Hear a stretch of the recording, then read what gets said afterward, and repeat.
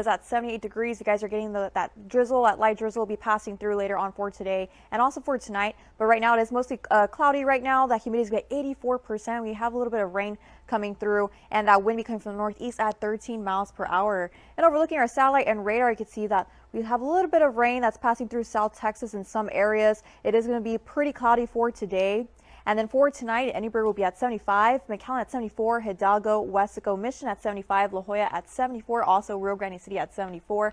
Also in Brownsville and San Benito, South Padre Island at 75 for tonight. And then for tomorrow, it is going to be 94 degrees, a lot warmer, partly sunny and very warm weather. We do have that breeziness coming in through the afternoon and that wind becoming from the southeast at 15 miles per hour, so still pretty windy for tomorrow. And within the next 24 hours, you can see all this rain that's going to be currently on the coast area. A lot of cloud cover that's moving into South Texas as well. And then for a satellite and radar, there is some snow in Wyoming, moving to Nebraska. A lot of rain that's moving into Nebraska and Iowa right now currently. And New York is getting some rain right now. We are having a lot of cloud coverage moving into South Texas, Louisiana, Mississippi, and Florida for right now currently.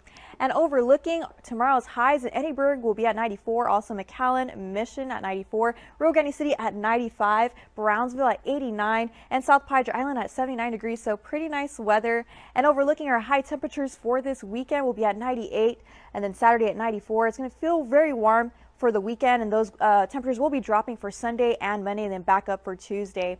And then for your extended forecast for this week, for Friday, will be 94 degrees, a lot of cloud coverage there, 76 for your lows, and then for Saturday at 90 degrees for those highs, 72 for your lows, and Sunday at 40% chance of rain.